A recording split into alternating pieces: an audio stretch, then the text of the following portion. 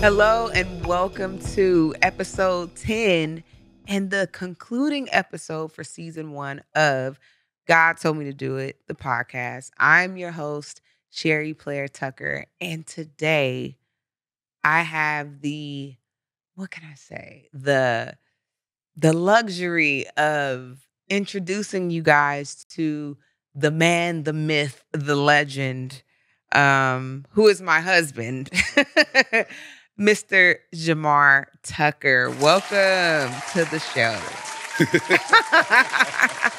so um, I was just telling Solomon off camera that, you know, when my husband's not around, I have to, you know, be responsible. But when he's here, I get to be a child. So you guys will see me poke fun at him because this is what I do. It brings me great joy Mhm. to annoy my husband. Oh boy. That's a that's an early quote. I should have you should have known what? I, what. should have known I was gonna be in for a long one. It's all right though. It's, it is all right, and you're gonna be okay.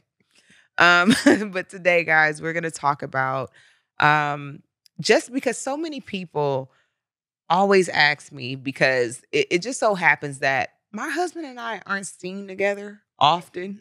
Yeah. And so even Solomon was like, I get to meet this husband like he's real. Oh my God. Yeah. Um, I thought he was a phantom up to now. Right. right. Uh, see now he's really here. Good. Right. So please, you know, explain to the people that I'm just not in the streets. No, you Um, explain to them why they don't see us together often. you stole my line too. No. nah, no. Um the main reason, honestly, is just based off of how things are structured, you know. Um juggling two kids, um, and then having two adults that aspire to do things outside of just work. Um, you know, it, it takes a lot of flexibility inside of the relationship. So yes. there's gonna be a lot of those moments where we have where it's just like, all right, I'm I'm out there, I'm at the studio today, um, or I'm at the shop today. Uh, who's with the baby? Right. you know what I'm saying? Um, I mean, so you mentioned studio and shop. Please tell the people what you do. Because So- I know. well, I'm saying it. Well, the studio, I'm saying primarily for you. Okay. Yeah. So in regards to music, Fair. in regards to the shop, it's for me. It's you know making clothes and uh, whether I'm you know going to work on dyeing clothing or I'm going to work on printing out clothing or whatever. What Oh, so you make clothes. What are you making clothes for? Goodness. Mind you, Listen. people don't know you. Hold on. Oh my God. Explain. First of all, you didn't. We didn't introduce what it is like. What's what's your occupation? All right, let's let's go into it. I'm still focused on what the family aspect of things. All I was gonna open right. that up Yeah, a little yeah, bit later okay. on, but I see what you're doing right now. Then we got to get right into it. I see it. I see it. This is gonna be. You know what? We didn't sleep long enough, so this is gonna be. A, it's gonna That, be a good part. Because I am on the struggle bus of rest as we speak. And you know how I get when I don't get sleep? I get very um chatty and laugh at everything. so Yeah. I'm there. you know how I felt when you woke me up this morning? how? Like I was just. I was like, where am I at?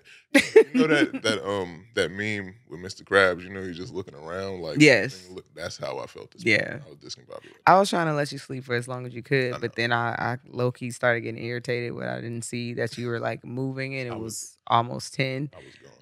Um, but anyway, um, but yes, explain to the people. You say you, you make So clothing yes, for. I have a brand. Um, it's called Quote. Um, it's an acronym that stands for Quiet Your Offenders Through Excellence. Uh, the your your is of course uh, you are, um, but basically it's a brand that's for the empowerment of self and everyone else. You know, encouraging Mhm. everybody to be the best version of who they actually are. yes. um, and just continuously putting that type of energy into the world. Um, it's just honestly, it's it's more of a passion project than anything else mm-hmm. because it's my way. It's another way that I am able to use my passion of connecting with people, um, and then putting it into something that you know you might actually want to make a part of your own daily life. You know what? Um, my husband is just such a beautiful individual. Period. I always tell people he As He-. Oh, thank you. He is just so caring. he cares about people. and how people feel and how his presence makes people feel. He likes for people to feel safe and seen. Um, and that's that has been his role in my life since the day that I've met him. Um, but I do want to segue into a funny story in which I want to say that. you know he I want to say that. cares about people. I want to say that from the day. Yeah.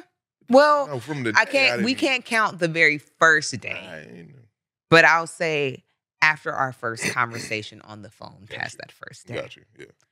He's also a stickler for details because he actually remembers the details. Let's let's put a pin there. Okay, I'm gonna be very sketchy. I'll be All roundabout. over the place. He's gonna correct us and give us the dates and the times. Okay. But um, I have a I want to segue to a quick funny story about you caring. It's a story that you told me. Okay. I don't know all the details, so you can insert. Okay. My husband told me a story a while ago about how him and some of his friends have went to a strip club, Um. Yeah. and the whole time he's like, "I I don't even want to be there, and I couldn't enjoy myself because I'm just wondering to myself, like, what got them here? All right. Listen. what is going on in their life and their psyche to make them want to do this?" And I just wanted to talk to them. He was like, I just wanted to talk to them and really see like where they were at and and possibly give them like just some inspiration. You can You trying to make it seem like I walked in there with the purpose of I'm gonna save somebody today. I you didn't- didn't, but I'm just saying you were in a space that one you are were already like this is- isn't It even ain't my really- thing. Like I don't want to be here. And then once you get there, he's like feeling all convicted, like oh my god, what's her story? What's going on? What? Because you know, I, I think about that period where I have this thing inside of my mind when it comes down to people. I always look at, you know, how do we get to where other people actually see us at in real time, Yeah, and you know, what are the circumstances? For some people, it's like that's where I want to be. Mhm. Cool. yeah, For other people, it's like I've I've had a slew of different circumstances come through, and I'm just trying to figure it out. Hmm And there's more of us that's really just trying to figure it out, as opposed to that's what we want to be. hmm So that's a large part of what that, you know, what that feeling was. Because it wasn't even a matter of like judgment or anything like that. It's just like, yo, how do you wind up in these predicaments? Because there's a lot of things that I feel like I probably could have really gotten into and done, right, but I didn't choose to go down that path. right. A lot of times it was it wound up actually being the harder path, you know, but the payoff was greater. Of course. Like such is life. Um, because I definitely considered it, you know, in college. And people would be like, why? Like, what's the point? Like, you're in school, you have a degree, you didn't need to. I was working, you know, I had a great job as well as, you know, going to college full time. But I think for me, hindsight being 2020, we talked about it in the Mhm. past. And at first I was like, nah, that wasn't a reason. I think for me, it was an insecurity and just wanting to be seen, Uh, just wanting to be like desired um in in like that type of light yeah, yeah. um but thank goodness that uh you know actually going up to the club and then them talking about coming back to audition and then when they actually ask you to be like okay well take off your clothes here and now I couldn't even do that. and that's when i was like i'm gonna head out Right. You know what I mean? and so thank goodness that you know i didn't push past that um you know being uncomfortable in that moment and just doing something because that definitely could have led me down a totally different path um and been something that you know would have been in my journey that i would regret um but let's go let's go back to how we met Mhm, the when the where mhm. and how did we get here where would you like to start it was, I think it was February 2015. yes Uh, we met in the single city of Inglewood at a, um, at the time it was a poetry and tea cafe. yes How, how quintessential is that? Um, but um, yeah, it was called Vibrations. yes Um, shout out to Food and Socks. Food and Socks, owners of the Vibrations in Inglewood. hmm Um, we it was it was a Sunday, and we were at the uh, the writing workshop, and we had we had this conversation later on. But I remember during the workshop, I think we were both kind of like periodically kind of glaring because we were sitting across the room from each other Mm-hmm. while you know everybody was kind of workshopping their stuff, and we were kind of peering over at each other, for different reasons. I think it was one. I think you were saying because you rec- re- you noticed my height, and I think for me it was I just I hadn't seen you there before, so I was just like, who was that? Right. So you glazed over a whole bunch of stuff. So Really? I'm gonna have to rewind. That's before, but that's before we got to the to you walking up to me and all that type of stuff. Yeah, but it was still only just a few days before. No, All right, so no, this, no, no, no, this is how it went. Okay. no, no, no, no, no. Hold up, because that wasn't a few days, but that was all inside the same day. The first day we met. No, what I'm saying is okay, let me rewind the story, guys. Okay. I don't know what you're talking Nah. about. So I don't you remember this backdrop, but okay, so I was going through some things emotionally. Um, I ended up linking up with my homegirl Bliss, and me and her were going to a restaurant to go eat somewhere off in LA. I can't even remember the place. Uh, we go to this restaurant, we wait to get a table. Um, they are not servicing us, so we leave and we Uh-huh. go to another restaurant uh, in going to that restaurant, I told her that I started trying to write poetry. I started reading this one poem or piece, whatever. It, I don't even call it a piece because honestly, I'm not a poet, you know? And so, whatever. whatever. And so, I'm reading it to her. And as I'm reading this to her, she's like, uh, a guy walks up to our table. This guy's name, Food. And he's like, hey, you're a poet. You should come to my uh, poetry spot and read that. And I'm like, I'm not a poet. He was like, Yes, you are. You need you need to come and read it. He was like, We have our uh, open mic every Thursday. It's called Vibrations. It's on this street. You should come. I said, Oh, I typically, you know, work on Thursdays. I'm I'm not gonna be able to do it. I was still working at Mac at the time, Mac Cosmetics. And so he was like, Well, if you can't come through, he left. I checked my phone, and that particular day, that Thursday of that week, I happened to be off, Mhm. which never happens. Mhm. So I then go Thursday night. Mm. I actually saw you there. I I don't remember seeing. You. Right. But it was no talking or nothing. I just remember seeing you there, like in passing. Fast forward a couple days later, the Sunday, that's when the writer's workshop happened. Because I actually read my poem and he told me to come to the workshop to workshop it. And then that's where I actually saw you. So now you can pick Okay, you gave your genesis as opposed to we- Yeah, but I mean, it did technically start on Thursday. You just don't remember seeing me, at all. but I saw you. Not at all. See this? Yeah. Whatever. Trash. Bruh. All right, good. Listen, You can start. oh, I, I started. We gonna continue part where it was us. We was both. All right. What was going on? Us. nah, listen. All right. Um, it was so after the actual workshop itself, like everybody um, went through their pieces and all that type of stuff. hmm Uh, you had came up to me, if I'm not mistaken. What piece did you do? I don't remember. What? What are you talking about? Um, oh, uh, Come on, fam. hold on. Uh, I know. I know. I know. What it is. I'm trying to remember the name of it. It's been a while. Um, Starts with a P. so my paradise. I thought he was the one for details. Huh? I thought he was the one for details. Uh, right? I I am. you you. I see what you're doing. today. No. no, but no. It was called real, it Paradise. was- yes. it was paradise. But that's interesting that I would workshop that. Nonetheless, um, yeah, I did that poem, um, and but after the fact, you came up to me and you asked me if you can take a picture with me because I'm tall. Yes. I told you no. And he told me no. So the reason why I told her no is because I had just been I that was like nine months of me being in LA Mm-hmm. from, from back home in uh, New York, Brooklyn. Mm-hmm. And so I knew a handful of people, but I'm also not really like the most trusted when it comes down to like I don't really want to be in your phone. I don't know you. so that was that was the vibe to me. It's just like it's weird. Why would you ask me if I could take a photo with you and you don't know me? You don't know nothing about me. I can still crack outside of this place. Right. You have no clue about But listen, I got to rewind it a little bit. He said this poem, he recited this poem called Paradise. And the reason why I cannot forget this poem is that it was talking about basically his journey from New York to LA and how all of these plans that he had for himself once he got to LA and how he was like hoping to find like his wife in Mhm. coming here. And as he's reading this poem, I am in the back, low key crying. I'm like, I don't know what it was. I swear to God. You know what? It was You are adding parts. I of the swear I'm not. Conversations about before. you don't remember this? The part where you said you were crying. I was literally in the back in my chair. You were reading that poem, and it felt like you were talking to me.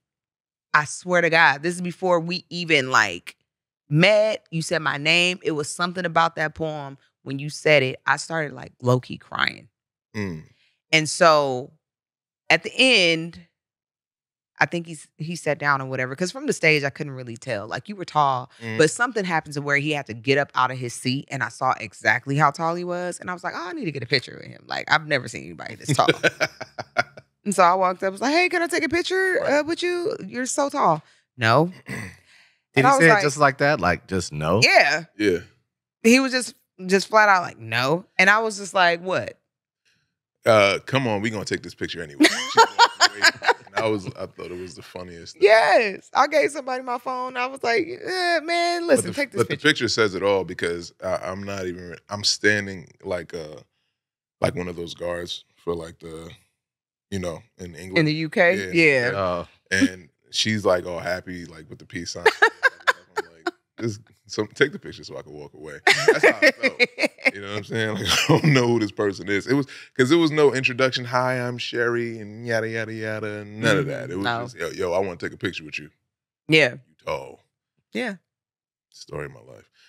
Um, but yeah. So after, but after that actual um instance, we wound up having a conversation inside of Vibrations for about like an hour and a half or something Yeah. like that, and it wasn't a surface level conversation. Like we wound up At actually really getting into just it's seemingly some deep aspects of our lives, and it was like Yes, it was it was crazy because it felt really natural to do so.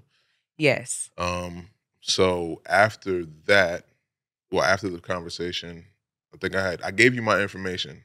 I told you I was like, yo, if you wanted to hit me up, uh, whether it regards to writing or if you just want to talk or whatever it is, hit me up. You know what I'm saying? Yeah. I don't take people's information. Yeah. So- I thought that was very like sweet too, because it was on some like, I'm not, I don't want you to think like anything extra. I don't want to take your phone number.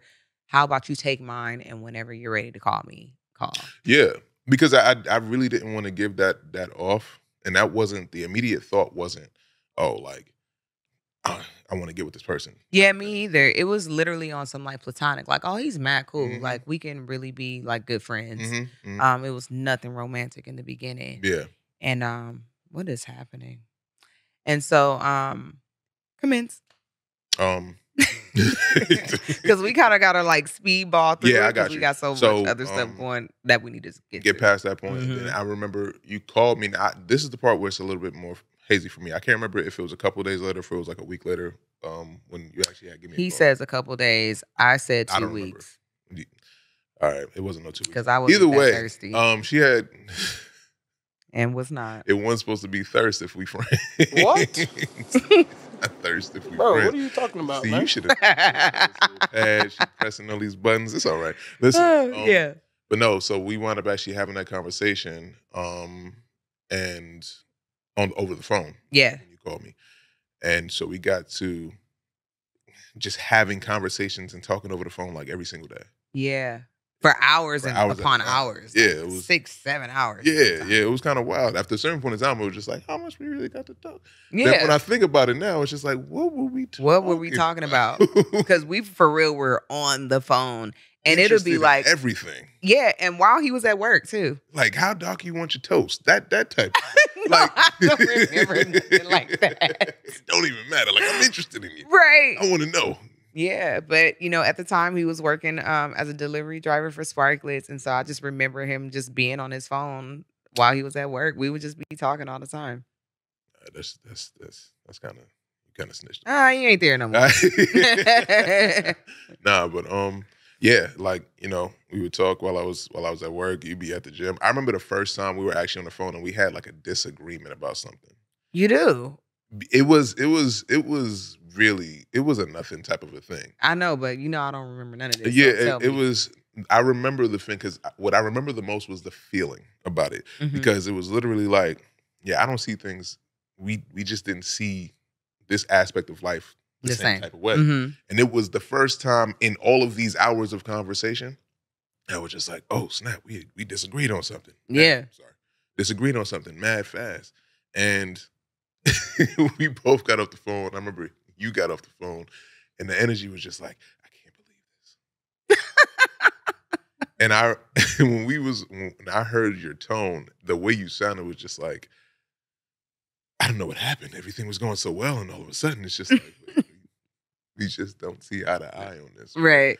But the feeling was just like, oh no, I hope this doesn't put a damper on anything. Which, in hindsight, says a lot about just the initial thought process that we had, thought process that we had in regards to each other, and like Right. just how we felt, wh- what energy we were in at that time. Like Mhm. really, just honestly, where God was taking us to. Because to look at it from where we are right now, I never would have imagined like nine years later.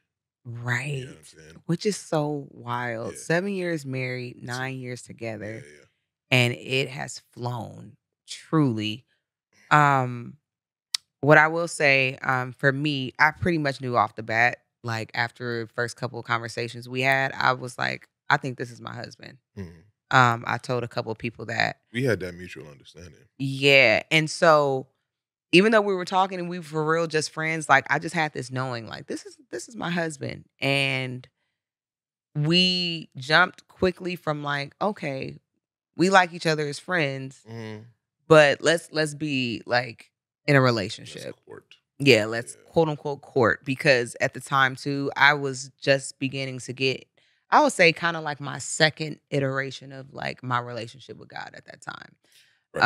Um, so I was heavy on like I need to court. You know, I need to try to save myself again because I, you know, I had already filed out. You know what I mean? I already had a kid, right?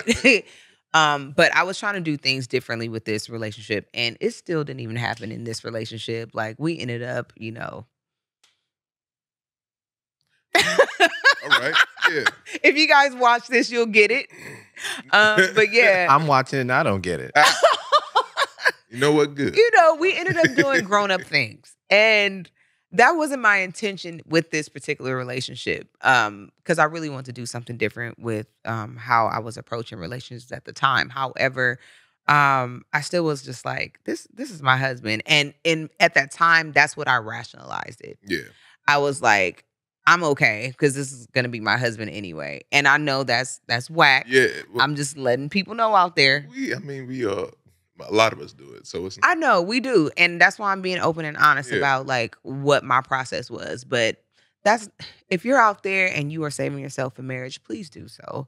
Um, keep the commitment to to to the Lord right. because that's really what it was about. Um, I'm more so upset at myself for not keeping my commitment to Mm. God because that's something that I should have taken more seriously and shouldn't have out. leaned on my own understanding and been like, well, this is what it is anyway, so I'm I'm cool. I feel you. Um, but all that to say, we were engaged what May of 2017, Yeah. and May we 21st, were 2017. yeah, and we were married June June 21st, 21st, 2017. Yeah. Very short. Yeah. It was. It was. It was. a it was a really interesting pace, especially at that point in time, because we were over two years in, Yes. and to be like, all right, we're gonna get married. Mm-hmm. All right, we're gonna get married in a month. Yeah. um and it was a that i feel like it's as uncertain in certain aspects of that i feel like we might have been in regards to being like are, are we doing that right Mm-hmm. it for the sake of where we are right now and we're looking at how it is how we've been able to kind of like really lean on each other Yeah. in the relationship it makes it made a lot of sense because the challenges that we would incur um individually and together Yes. was really just like, okay, you you're gonna you need this person, like you need this partner, you need this this this this connection, not just to say you have it, but really because there's gonna be elements there where you have to learn how to lean into the gifts that God has given you. Mm. Really inside of Interesting. this relationship. That's that's a that's a real thing. And at the same time, you're still working through your own personal barriers and walls and all the typical things that you Right. being in a relationship. And you have um, a certain level of newness Yeah. because we very much so weren't in that state state of being like, oh yeah, we we've come of age and we got and we know who we are. Yeah, no, we yeah, we. I for sure didn't We know. didn't know. When, when we because when we met each other, for me, it was just like that was my first time that I actually got comfortable and I enjoyed just being to myself, like being by myself.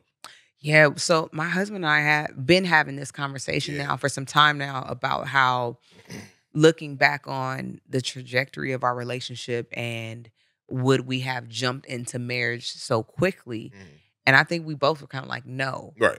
And the the reason for that is I think out of my own insecurity at the time, I felt like if we don't push the button on this now, then I may not end up being married or I might lose this person because I just had so much of myself uh, like self-worth issues for one. And I felt like before I scare him off, let's make it happen. Sounds like entrapment. right. Right. so guess what? I'm healed. we could talk about this freely. No, but really looking back, I think it was more of an insecurity thing. And it was Mm. like this person is showing that they love me, they care about me, and I want to latch on to this and I need to lock it in. Um, because at the time he was communicating that, like, yes, my intention is that I definitely want to marry you. Yeah. I just don't know if it's time right now. Right. And we began to kind of bump heads about like the when. Right. And that was and that was my thing because and this is kind of indicative of certain things too, where it's like I'm not worried about that aspect of things because I know where I want to be. Right. So you you shouldn't you do not have to have any concern about whether Right. or not this is gonna be present. Exactly. Because when I'm telling you I'm present, my word is my bond. right. So I'm I'm telling you like, no, I'm I'm I'm here. Like Mhm. I'm literally I'm here. We, Yeah. You ain't, we don't have to worry about that. Whether it was today or it's two, three years from now. Right. Either way, either one, it's still gonna be that. Cause my the point for me was the biggest thing was we have things that we still are learning about ourselves in this process Yes. to get to that stage of being like, all right, ready to take on the commitment or take on the responsibility, not even the commitment, but take the responsibility on of truly being responsible for somebody else's life. Right. Um, and being tied into that under God, by the law, all of that type of stuff. Mhm. And you gotta really have the opportunity to focus on that first before you really fast track to get to I saying I do. Yeah. And that was the biggest thing. But I made the compromise with myself, and this is where my own thing came into my own thing came into play. And it's funny because I'm I'm recognizing that we both are we both are looking at like where our flaws were inside of the Mhm. decision making. But my thing was just like, well, you know what? I want to do this. I've been saying I want to do this anyway. So what's the difference between me doing it now and later? Right. Mhm. So that was my aspect of quote unquote compromise. Right. Um, I still really do not regret doing it when we did, though. Funny thing. You know what? I don't either, which is the interesting part because it was just so much going on, Yeah. I think, with us internally, individual like Yeah, And I feel like we still weren't fully communicating it or didn't have, we didn't know how to communicate it fully. It would come out in disagreements, oh yeah, but I don't think we had the full awareness of ourselves to be like, hey, this is what is happening with me. And so this is what I need. I think it was also an aspect too of not wanting to kind of rock the boat, Yeah. really, because I think it. I, I honestly feel like we both knew. It's just that you know, depending on when you get certain information or when you get a certain type of message, Uh-huh. it could, if you're not, if you're not anchored a certain type of way, it's, Mhm. it's gonna throw you off. Yeah. And in a lot of ways, ignorance is bliss. Yeah, you know what I mean? Like we were just enjoying the time. Um, but like you said, don't regret it.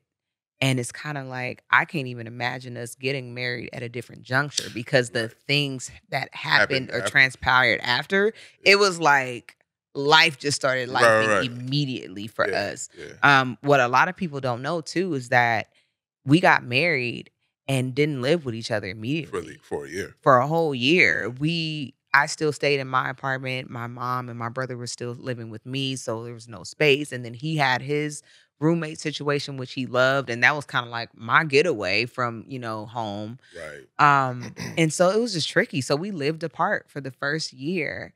Yeah, and, And then at then- the same time, because we were also trying to get situated, you know, when it comes down to finances and all that type of stuff, Mm-hmm. same thing. Like I had my job was cool, but it wasn't enough for me to be like, all right, I can let me take on this full responsibility of doing that whole entire thing in a manner that was actually comfortable. Right. been Like yo, everything's gonna be tight, and because that concept for me at the time was such, it was still uncharted territory.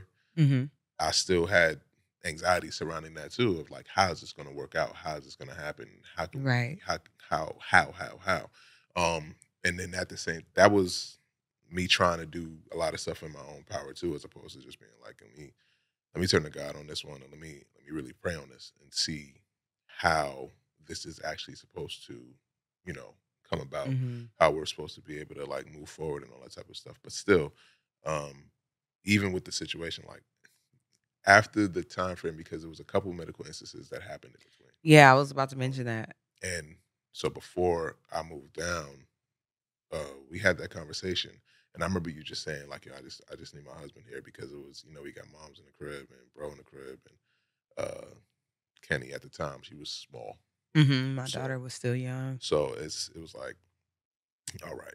So I'm about to come down that way. Mm-hmm. For me, it was like, all right, I'm about to lose all this comfort that I have. I feel like I've like finally attained, Mm-hmm. um, and I'm about to be really uncomfortable again.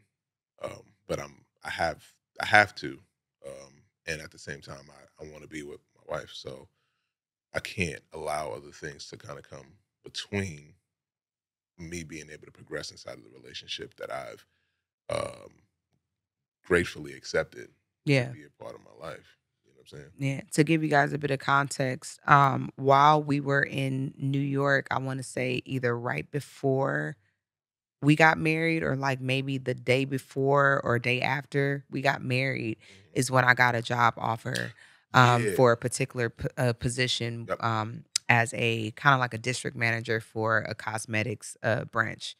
And what they were offering me was like well below like what my worth was, but I felt like I needed to do that so that our financially we would be a bit more sound Yeah. with where we were going. And so against my better judgment, I was like, I'll just go ahead and take this position. Um, it was very short lived. I began to have, you know, a lot of anxiety. Mhm. Um, that led to actual anxiety attacks, me being hospitalized for a couple of them, um, me being in stores where all of a sudden I would just get dizzy and pass out.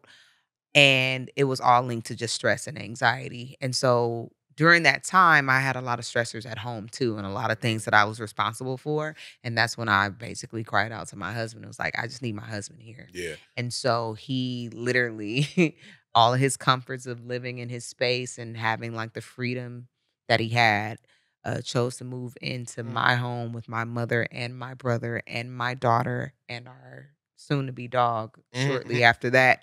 Mm. Um, and that was just a whole a whole journey in itself, but it it just speaks to your selflessness. Yeah. And I just truly appreciate yeah, like I just really appreciate how in the midst of my distress, you're like, I'm gonna take this on no matter how uncomfortable this makes me feel, and we'll just figure it out. Yeah, because I, I knew at the time. I mean, you you have to face one. If you even if I'm not looking at it from the emotional standpoint, I have to take on the responsibility that I signed up for. And, and the reason why we were even apart is because we had agreed on things being a certain type of way. Like we was like, this is the term, and yeah, like where I was living at was was a getaway. It was it was Mhm. also a house full of artists, and us being both oh, both of us being creative people and being artists Yes. um, in our respective ways. it was really like, an, it was really an escape. Yeah. So he he stayed in a fly like house uh with all of his roommates were musicians. So there was drummer, keyboards, Mhm. uh piano, a singer. They had a band. Shout out to Jumanji. Mhm. And they called it the Manj House or the Jumanji Yep. House. And it'll be times where they literally just invite all their friends. It'll be jam sessions downstairs, food, us kicking it, being creative, Yep. freestyling. Um, and so me being able to when my daughter would be with her dad to go to my husband's house and kind of just get away and de-stress was exactly what I needed. But then there came a season where it's like this is just too much and I just need you here. so Yeah, yeah, yeah, yeah. um But okay, so let's fast forward a bit. I think we gave them a bit of history. There's a lot There's other lot, details yeah. there. Um, and if y'all want to know, invite us on your pod. We'll talk about it. Yeah. Um, but I want to fast forward to one of the most major life altering trials that we had to go through together that I feel like opened our eyes to so many things as well as brought us the closest. Mhm. And that is the birth of our our daughter, Mhm. Mars Mhm. um i think it's important that we talk about this because you you never really hear about the male experience when it comes to childbirth it's Mhm. it's really heavily focused on the mother Mhm. what is the mother going through what is it that she needs Rightfully so. blah blah blah and so i think it'll be important to have your voice be heard um in in some ways speaking to the male experience or to, for males that don't get to talk about it like you being that voice Yeah. um for context i found out i was pregnant in february I wanna say of February. 2022 Mhm. yes found out i was pregnant in february and at that time i was still i think it was february yeah yeah 22. 23 23. 23 23 sorry guys i'm horrible with dates good. sometimes so yeah i found out i was pregnant february 2023 it was a friday night i wasn't feeling well went to urgent care uh, they did a test they said i was pregnant i said no way i said Mhm. do another one they said i was pregnant i was so upset and guess what i was more upset about guys that i could not finish smoking the black and mild that i had in my car at this time I was still like heavy on the Black and Milds every day. It's been uh, a vice of mine on and off for some years. Uh, I'll say definitely over a decade. I didn't start smoking until I was about age 26 or so. Mm. And so, um, long story short, yes, found out I was pregnant, but at the same time, it was very joyous because this is, you know, me and my husband, we're six years into like being married yeah. and we had been actively trying for years and we had literally just come to the conclusion that maybe there's something going with on with me or something going on with him Right. And maybe we should get tested to see what's really going on Yeah. but in the event that we weren't able to have a kid together we had finally settled to be like we're okay if we don't have it's kids if we don't. and it was just wild that we just had that conversation Yeah. maybe like two weeks before I found out that I was actually pregnant. Mhm. Um, at this time too, I was practicing a bit of African spirituality. And I had got a reading done by Ifa priest, and it came up in my reading that I was going to have a child, and that they were with this particular deity. Mhm. and I just didn't know when it was going to happen. But in getting that reading, there was also some offerings that needed to be made to these specific deities in order for these things to come to fruition. Mhm. I went through with doing that stuff via Zoom with the Ifa priest. Mhm. Um, so when I found out I was pregnant, I was like, wow, it was accurate. It worked. Um, but then we hit some challenges where I go into labor at 21 weeks and six days. Mhm. I go into full blown labor. Um, I want you to speak from the story here online. Oh, wow. How Um, you were feeling, what was happening, what was going through your mind. I was definitely sh- well, shocked. To, you know, it's kind of an understatement because we had just had the anatomy scan the day before um, Mars was born, and we had. I remember we had some questions about her positioning because I think she was upside down, Yeah. but at the same time, you know, um, the person conducting the scan was basically saying it's like, no, they're fine. You know, it's it happens. The baby's moving around. You know, it, it she'll be right side up before you know it, type of thing. And so, I was actually kind of, I'm sorry. I was actually kind of upset though because I was in a lot of pain. Mhm. And I even made a joke like, yo, like she's positioned as if she's ready, Ready to come come. Yeah, yeah, yeah, yeah. I remember you saying. And I was like, Are you sure I'm not having contractions? And they're like, Nope, everything's good. hmm Mhm. Yeah, and so for it to be what twelve hours later or something like that, Yeah. um, for it's like okay, we have to go right now. Um, it, it was it was interesting. It was it was kind of wild. It's a very surreal thing to me because at this I was I wasn't panicked. I was still very calm, but I was also just like I I can't really believe that this is what's happening in the moment. Like this is how this is playing out. Mm-hmm. So my main thing was just, you know, just be calm, focus on what we have to do so we we can be able to, you know, you know, just get where we got to go. Uh, shout out to our doula Tam. Yes. Um, that morning, you were in the bathroom, you were in the tub, you had called out to me. I was in the bed. It was six in the morning, and you were like, uh, "Jamar, um, I don't know if you want me to say. Is that graphic enough? It was just- what? Oh, you can go. It's like, yo, my my my, my mucus plug came out. Mhm. I we gotta. I, I think I'm the baby's coming out. We have to go to the hospital. Like I don't know what's going on. So I was like, okay. I called the I called uh, Tam. I was letting her know, hey, look, this is what's going on. Um, we're gonna head over to the hospital. And she was just like, okay, listen, I'm gonna call the hospital ahead of time, get her dressed, yada yada yada, get to the car, go. All of this happened real fast. Grab the dress. Funny enough, it was a maternity dress that I actually bought for you yeah. um, grabbed it, uh, got the clothes on, got her down the stairs, got to the car as fast as possible, um, and sped over to over to the hospital. hmm It was like 15 minutes. Yeah. I, I ran everything, Flat. the whole entire thing. Um, Thank God for traveling grace. Jesus. absolutely. hmm Um, got upstairs, and it just so happened to be during the change of shifts. hmm Um, it was like it was about seven o'clock. Yeah. um, or coming up on seven o'clock.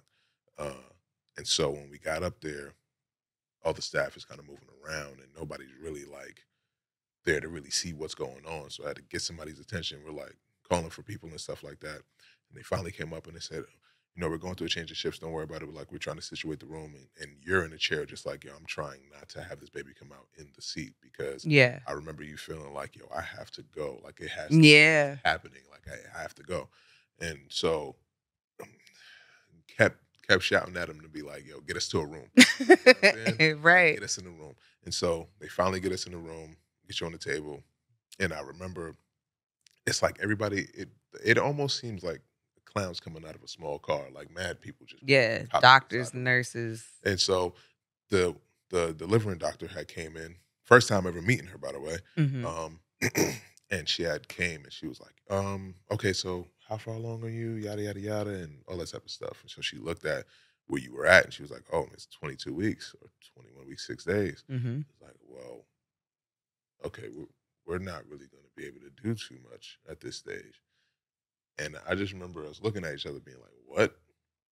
Like, what are you talking about? hmm And so she was like, in order for us to have NICU come up, you know, the, the baby has to be at a certain stage um, in utero, if that's the Mhm. terminology, to be able to actually uh, do anything. And I was like, well, what's the time frame? She said 24 weeks. I was like, we two weeks off. I was like, we have to, we have to try. Yeah. You know what I'm saying? So we went back and forth with her for a little bit because she was asking us, mind you, you're trying not to actually, you're trying to keep your composure and not trying to actually like push out the baby because at the same time, the nurses are telling you blow out the candle, which in that term means blow the air out, do not bear down so the baby does not come out. Right. So they're trying to delay it. We're trying to have it and have them bring the help up. The lady comes and says, "What we would have to do? What's the what's the name of the Um, s- compassionate care or something like that. something like that?" But basically, what happens is is that the baby's born. They put the baby on the mother's chest, and then um, the baby stays there until the baby expires. Yeah. And They basically were saying that any pregnancy that happens or delivery that happens prior to 24 weeks, Yep. the life wouldn't be viable. Right. So they would do the whole compassionate care. And Right. I was like, nah. No.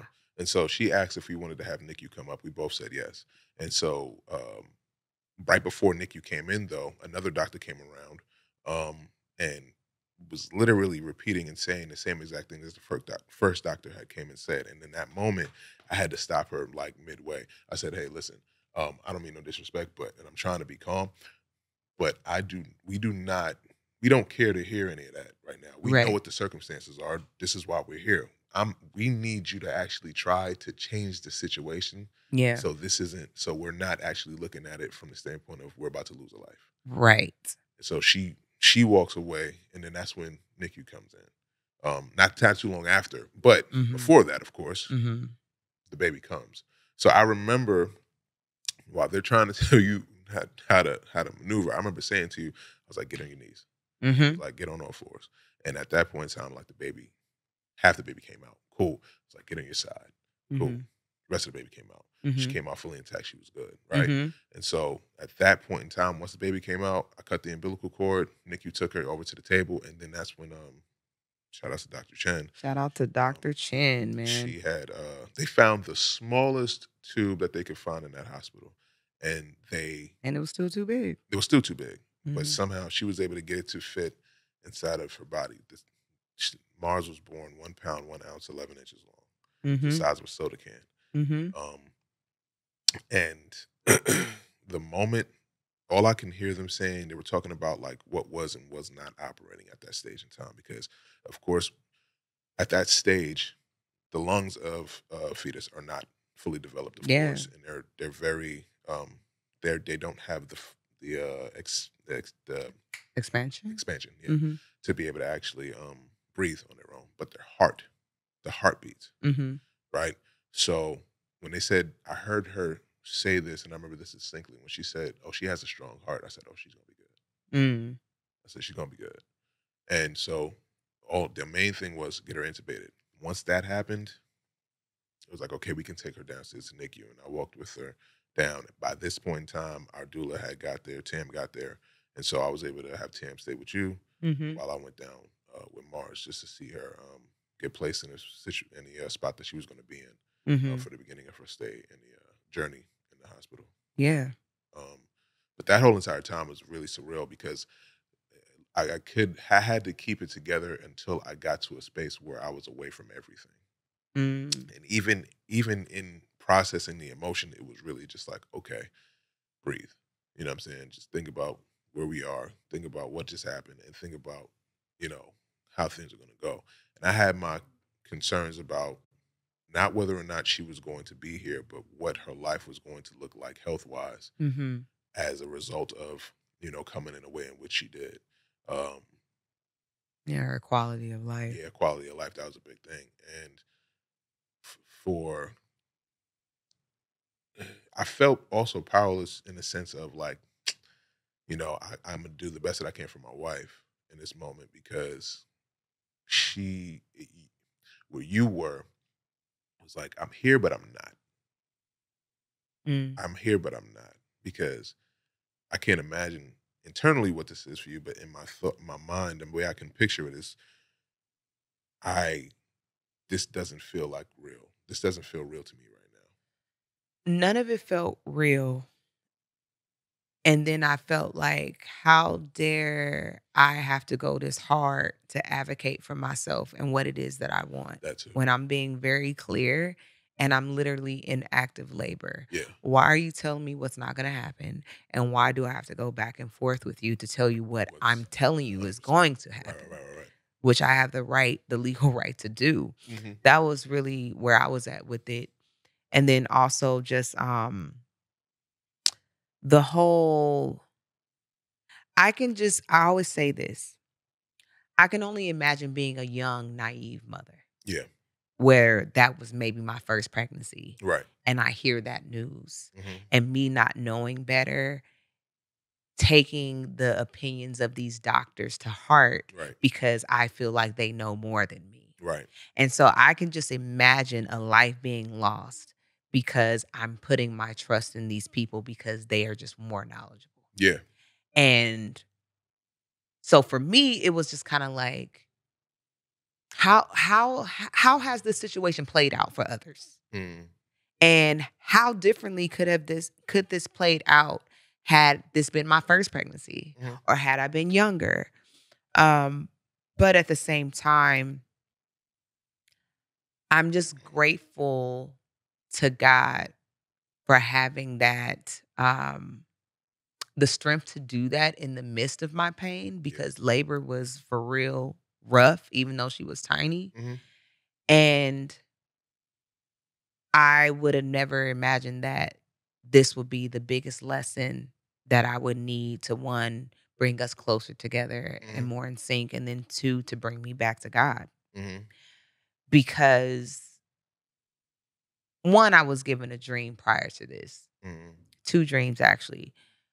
One of the dreams was I told you, you and I were in a hospital room and it was just a a, a spotlight shining down on us, Mhm. and someone came and handed us over to babies. Mhm. Mhm. And I said, I'm guessing that it might be some type of emergency situation. I was like, because in the dream, it was set up as if I was getting a C section. Yeah. Um, but I don't know exactly what's going to happen. And then the dream that I had shortly after was of my father.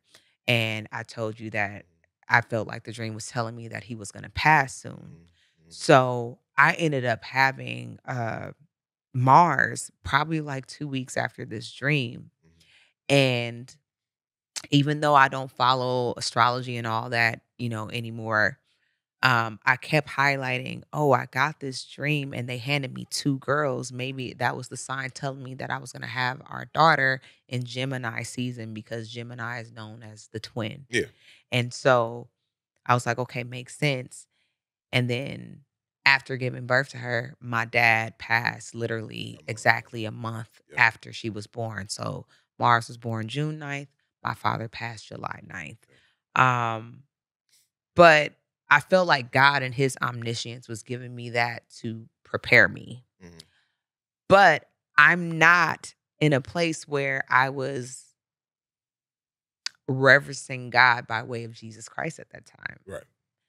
And so what changed it all for me was going through this and feeling powerless and feeling like I have no one to lean on besides my husband and God.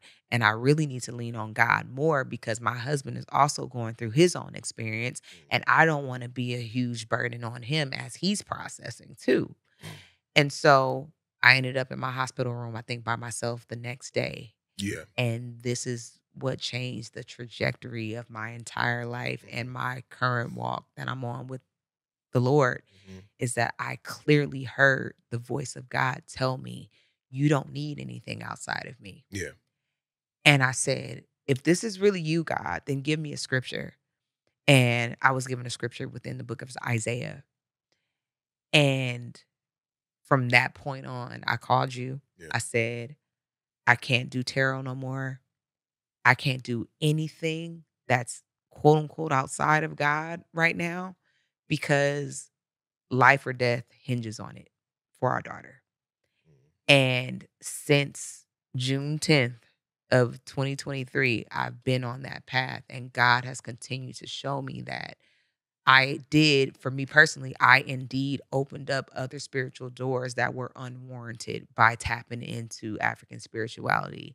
It was I was given a message in a dream that I had spiritual doors open that needed to be closed. And so God just started to confirm things with me, to share scripture with me. And all of this was big because I'm not well versed in the Bible. Mhm. And so when I would hear these things and read them and they would immediately apply, that's what gave me the strength to move forward in my faith in Jesus and making sure that our daughter was good. Mhm. Um, you have anything else you want to add? I think um well, you know, to to that point too, because I remember even before getting to that stage, you were wrestling with um in your own way with the aspect of more so religion, more so with the aspect of Christianity as Yeah. opposed to and a little bit with God um period Mm-hmm. in regards to validity. Not if God is real, but is why am I in a position that I'm in? You know, why am I experiencing the things that I'm experiencing? Or and it would and it did have you question things certain times. And I remember having those conversations with you like no matter where you no matter where you feel like you are, God is always there. Mm. God shows up for you in ways. And because we are in our feelings the way we are in our feelings, Mhm. when we're in our feelings, a lot of times we might not catch it Right. because we're not open to being able to to listen, to see, to receive what it is that we're supposed to. But Mhm. that whole entire thing was still in, very much so indicative of God looking out, Yeah. God being God being in, in your corner, in our corners, and still having everything in, in His hands. This there's a there's a lot with life that we we get the actual opportunity to contribute. I like to say, you know, we get the opportunity to contribute to our own success. Mhm. At the same time, we have to understand that the balance of life encompasses knowing when it's time that you're going to be powerless over certain things that happen. Yeah. And it's a lot of times when it revolves around things such as life and mortality that we are absolutely powerless over Mhm. um, in a lot of different ways. And to reconcile with that, um, it's it's a rough road for a lot of us. You know what I'm saying? It's it's really rough seeing how those things come about because for especially for those of us who are very much so intent and intense in our own particular lives and paths and you know we have intentionality behind the things in which we do uh to be in a position in which you can't do anything at all Yeah. um and you have to trust you have to trust something someone you have to trust god in that moment and trust that god's going to put the people in play to actually be able to rectify the situation or you know have the right result come to pass Mhm. um that's faith you know and you have to have it in order to Yeah. be able to continue to graduate to the next thing you know? Yeah, man. I I think this was definitely uh, a huge test of my faith. Um, I really had to dig deep and go into the unknown and really be like, okay, God, I'm I'm trusting you because for you to speak so clearly to me in that moment, it was like you had to get my attention. Mhm. You led me down the path that I've been on this entire time just to get me into this place. Mhm. Like just to humble me, like get me into a spot where it was just like you have no choice but to depend on me. And I need you to for real depend on me right now. Lean on me, wait on me, pray to me. Um and it was four and a half months of that. Mhm. Um, our daughter was in the NICU for four and a half months. Mhm. Um, I don't know if uh, some of you might know this, but on Instagram, I didn't announce like that I gave birth. I didn't even share that I was pregnant. I was waiting to do that. And so I didn't get a chance to do any of that. But what I started doing was counting the days. This is when Instagram started having like what I call like the away message on Instagram, the little oh bubble yeah yeah yeah yeah Mhm. and I started just putting uh, a number and a sunflower. Mhm. Mhm. Um, and that was me counting the days that I thought I was gonna make it without crying. um, that was me counting the days that our daughter survived. Because one of the initial messages we got when we talked to one of her NICU doctors, there were about five or six on her team Yeah. and she had over 70 or 80 nurses that cared for her too during this time. But um the main doctor was saying that based off of, you know, how young she was, that if she survived 3 days, that was good, oh yeah and if it was 7 days. That was amazing. Mhm. But don't expect anything more than that. right And so I started counting the days. right and I just started posting the day and I didn't put a reason. I just put it there cuz for me it was like I need to honor her and I need this as proof that God is going to pull through. Mhm. Because even in the midst of everything happening, I just knew that she was going to be fine. Mhm. And for some reason I was like I can't have any bit of doubt in my mind Mhm. because then it would shift Yeah. the outcome.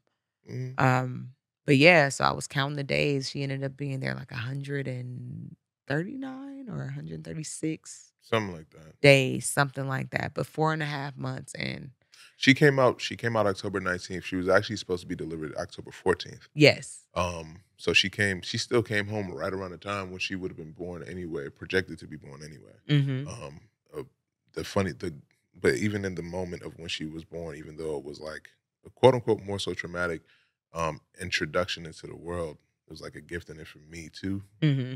because we're what eight days apart. Like Yeah. I'm the seventeenth, she's the ninth. Mm-hmm. Um, she's even like her her birth date is six nine. That's my height. There's a lot Mhm. of like little things there that that are in sync. Even her name, Mm-hmm. you know, you decided to to name her after me, Mm-hmm. which was a big thing too because it was just like, oh, in in a, in a way, I still get to be able to have like a junior, so to speak. Mm-hmm. You know what I'm saying? Which I which I I, I still think is really cool. You know what I'm saying? So um there were a lot of those moments. I never had that feeling though of I have to stay positive. Mm-hmm. I just never had any I didn't have any doubts whether or not it was gonna be all right. I just knew she was gonna have a rough road. Mm. I just but I already knew it was just like she's gonna be good. There's nothing there's nothing to worry about in regards to whether or not she's gonna be here. It's Mhm. just a matter of praying for her to be able to have the strength Mhm. to be able to fight the way she needed to fight Yeah. In order to be able to be here the way she is. Yeah. You know? I'm actually going to share a detailed video of us talking even even Yeah. in more detail yeah. about that entire NICU journey. Um, shout out to uh, one of my friends and great photographer, um, Sheldon Butler, who um, came over to our house uh, uh, maybe about a month or two after she was born, or something like Something that. around And um, we filmed a whole like hour and a half long uh, spot about the details of that Yeah, story. And I yeah. plan on sharing this that one on my YouTube channel as well. Mhm. um, so you guys can get more context as we're gonna wrap up here Yeah. um, um, shortly.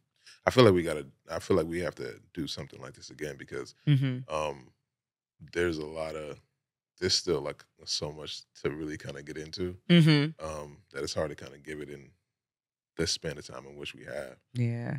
But you know, I want you to do the honors by ending this uh, with a praise report, if you will, praise report um, in regards to where Mars is now. Uh, so Mars now is a grown individual. she is a very active, handsy, somewhat teenager slash toddler. I don't even know. I, I- I- she's um she's over 30 inches long. She's Mhm. probably like 33 inches long. It's been a while since we've had her yeah. she's probably about 33 inches long. Um, I would say she's 20 something pounds. I'd probably give her about 25 right now. Mm-hmm. Uh, her lungs work great. She screams at us every day. Um, so do her hands, as I Mhm. said before. she has She's, hands. but she's like, you know, she's exploring, Mhm. but, and she's beautiful. She's just like, she has a, a, beautiful, like, just light in her face. You know what I'm saying? and Like, you can tell that she's just gonna be a very determined individual. percent. Period. Which is hilarious because now it makes sense. Like, oh, you were gonna make it. That's a fact. You're gonna make sure that you made it That's it. because she's so determined now. Mhm. Um, and you know, she's a year and how what a year and two months, 3 Mhm. months? Yeah, a year and two months.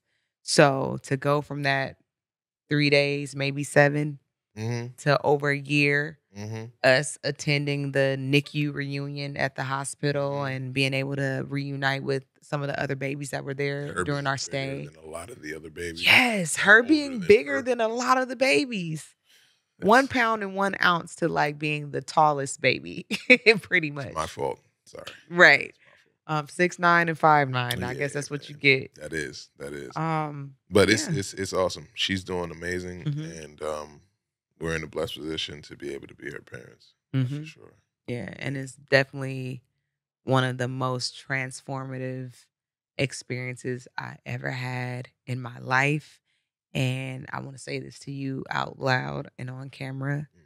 I'm grateful to have gone through that with you because I cannot imagine going through anything that I've gone through so far in my life since we've been married Mm. without you. I'm so grateful for your covering, for the peace that you bring. Um, you have just been a stand up, just guy, friend off top, but now husband just since since day two. Mhm. no, um, yeah, I love you, I love you more. and I um I appreciate you, and I appreciate the I appreciate the fact that I have the opportunity to be in a position of being able to be a, a husband and a father and um, a friend or a confidant, like you know all the things Mhm. in between. I, I was really thinking about this the other day. I, man, I, I'm in a I'm in an amazing position. Without within the absence of what I feel like perfection actually is, Mm. still feel like I'm in an amazing position because I still have abundance in my life, even if it's not in the manners in which I might want it per se. Mhm. But we still we have a roof over our head. We can eat. Mhm. we can we can move around. We have the we have the basics. But the best thing about it is is that we have the relationship that we have Mhm. in such a positive space that it's actually in to where you know what I mean? Like it makes a lot of things lighter. And I remember when it didn't feel that light. I remember when, you know, being in the midst of mind you, seven years seven years married is is in in relation to life still is very, very early. You Mhm. know, I had a uh, shout outs to Ernie. He um I remember I asked him one time when we were three years in, I'll make this short. Mhm. he's I asked him, I was like, you know, how do you and your wife do it? Because we were going through something at that time. And he was just like, listen, I feel like I'm not qualified. Because if I had I have to tell you like I was told to me, we've been married for eleven years at that time. Mhm. That was Ernie, Kim right? Candy. Mhm. Yeah. And he said, What does an eleven year old know? Mm. And I was like, Not much.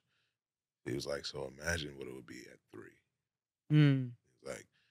You got to give yourself the space and the patience to be able to grow into what it's supposed to be. Mm. And so I've always taken that to be like, you know what, you're right. Because no matter how much time it feels like it's passed, we're still very early Mhm. inside of just the entire lifespan of what this actually is. So when I think about people saying they've been together 30, 40, 50 years, it's like, okay, you got to be able to be adults together for real. You got to grow from Mhm. being in infancy to being able to full grown adult. That's beautiful. So Yeah. I'm looking forward to that. I'm grateful that I have the opportunity to even say that that's a part of my life and, you know, everything else in between. Nice. I think that was good. I think for seven we're doing better because I was for sure childish. Childish now. I, yeah, I'm childish, but you know, like I, I'm not as selfish, and I am definitely, um, I'm way more softer. Yeah. Um, that's that's what I definitely appreciate about. I think that's one of my greatest gifts that I've received from God, is that if I have my identity in Christ, it brings a different level of peace, Yeah. which then makes it safe to be soft. Yeah. Um, even though you always said it was safe and you've always been a safe space, trauma and just cycles of being in hyper independent and hyper uh just feeling like you're so defensive, Mm-hmm. it's hard to get out of that. And so Yeah. um marriage helps you with that, but I can definitely say my relationship good with Christ now Mm-hmm. has highlighted like it, it's okay to be safe and it's okay to lean on Yeah. you know lean on god fully Yeah. and that there's peace that comes with that Yeah. um is peace in letting go um and not maintaining so much control so i got god to thank for that and you to thank for that for that but let's end this with some prayer Mhm. you're gonna be ending it with the prayer Uh-huh. since you never like to pray when That's not true. we like to do it together and you always want to put it on me. That's that's because you're the one that Uh, eh, you having the Bible in your back pocket. I just whatever. Go ahead. giving you practice. All right. Hey. Um uh thank you God for this day, this life, this love, and everything that comes with it. As always, we come to you humble, open, and grateful for a new day of life. Um, first and foremost, I want to uh, ask that you cover, keep, and protect not only us here in the studio, but everybody that's listening to this uh, podcast, watching this podcast, from the top of their heads to the soles of their feet. Man, no weapon formed against them prosper, spiritually, mentally, physically, emotionally, etc. Um, I want to give you the thanks for uh, partnership, give you the thanks for insight, reciprocity, understanding, um, creativity, uh, just life, life period. Um, thank you for giving us the opportunity to be able to look at things for what they are. Thank you for giving us the opportunity to truly get into the beauty and simplicity, um, the things that we walk by and take for granted. Thank you for giving us the Mhm. opportunity to really see how much gravity is actually inside of those things that we find to be we take for granted on a regular basis. Mhm. Um, there's no greater gift than being able to have the opportunity to experience life and also recognize that you have the capacity to appreciate what it is that you're experiencing and then learn from it and apply it and that be the wisdom that helps uh, represent who you are in this lifetime. So thank you, God, for that position. In your mighty name, I give you thanks and say amen. Amen. And peace out. Mm.